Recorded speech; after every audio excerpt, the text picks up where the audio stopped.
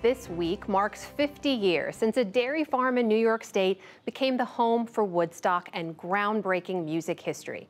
To many, the festival is still seen as a defining symbol of 1960s counterculture, idealism, and the anti-war movement.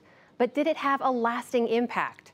Jeffrey Brown is back now with a look at that weekend and what it means five decades later. It's part of our Arts and Culture series, Canvas does the richest and strongest nation in the... In the summer of 1969, Richard Nixon was in the White House. Neil Armstrong walked on the moon. I totally oppose this war. The Vietnam War raged on. And some 400,000 people made their way to a field outside the small town of Bethel, New York, for a gathering that would become one of the defining moments of an era. Michael Lang was one of the organizers of the Woodstock Festival. It's always important to promote peace, and music is a great way to sort of bring people together. A lot of the things that came out of the 60s, coming through the civil rights movement and women's rights, and really the advent of, of concern about the planet, which you know sort of grew out of that era, we were motivated and we, we felt we could really have an effect on the way things worked in the world. Freedom. Idealism was still in the air two years after the so-called Summer of Love. But, says Todd Gitlin, author of the 60s, so was something else. It's a show of cheerful de defiance. Let's show that we can triumph over war, assassinations. Many people who were there thought of the music as itself a feat of defiance. We are impervious. We are the real America. And what happened subsequently was that rebellion became the dominant culture. What began as a ticketed concert with promoters estimating 50,000 attendees quickly evolved into something very different. A free and free-form festival with a mass of humanity, stoked by an incredible lineup of some of the 60s biggest rock stars. Janis Joplin, Santana, Sly and the Family Stone, and many more. Mostly helicoptered in after the roads were clogged and unpassable. They too got into the spirit. For a minute, we were hopeful. For a minute, we were not facing the Vietnam War. For a minute, we were not facing losing the Kennedys. For a minute, Dr. King's death wasn't hanging over us. For a minute, we were behaving like decent humans. I'd heard a buzz in the air about this festival that was going to happen. Photographer Henry Diltz was on stage capturing it.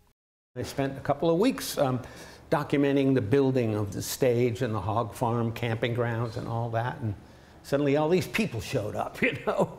It was kind of photographed from all different angles, you know. Mine were mostly from on stage. And that sort of brings it all uh, into the present for everybody to remember. Photos are wonderful that way. This past week, Diltz, Michael Lang, and others gathered at the Morrison Hotel Gallery in New York City, and a line formed around the block with people young and old to reminisce or to learn about an event that's taken on the quality of myth. I'm really excited to see what's going on. A lot of spiritual awakening, a lot of pushing of certain movements, cultural movements.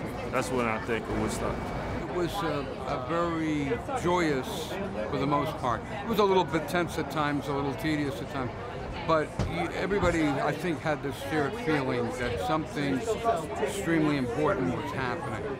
The food and water almost ran out, people got sick, and torrential rains turned the grounds into a mud bath.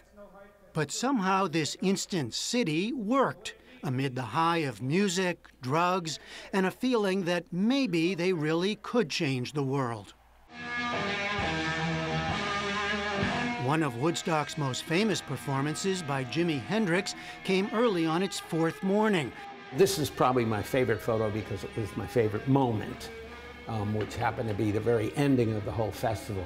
Jimi Hendrix, the headliner, was supposed to close the show Sunday night but it was so backed up that he went on Monday morning. So we were all a little bleary-eyed, and this band of gypsies came out with these colorful bandanas. And it was quite an amazing show, and it was startling when he suddenly started playing the Star Spangled Banner. with all the sounds of war and everything. And we were so anti-war. Every single person in that half a million crowd was against the war in Vietnam. In the end, there was a field of trash, soon enough cleaned up, and decades of wondering what did it all mean. Just four months later, violence at the Altamont Festival in California shattered any sense of peace and love tied to music. Attempts to recreate the Woodstock atmosphere for 25th and 30th anniversaries were chaotic and marred by riots. And a 50th anniversary concert that Michael Lang hoped to present this weekend failed to come together amid denied permits and financial problems. It was disappointing. I mean, the purpose behind it was really to promote engagement, make sure people got out and voted this time because I don't think things have ever been this critical in terms of what's going on on the planet. So we hoped that a festival would be kind of a way to focus on that. But we are going to do it without the festival. For all the wonder of that moment in the summer of 69, for some, the Woodstock mystique belongs in a How We Didn't Change the World time capsule. Woodstock is sort of protected in history as a kind of moment of glory. I think it's delusional for people to think that you create that by simply packing hundreds of thousands of people into a field and celebrating. I mean, there's politics to be done. Uh, politics is in power. If people think that they can effervesce themselves into uh, salvation, then I think they're being misled or misleading themselves. These days, giant music festivals, huge commercial affairs, have become the norm. And the country is once more hugely divided socially and politically. But bringing it all together, as happened in that field in upstate New York 50 years ago, it's hard to imagine we'll ever see the likes of Woodstock again. For the PBS NewsHour, I'm Jeffrey Brown.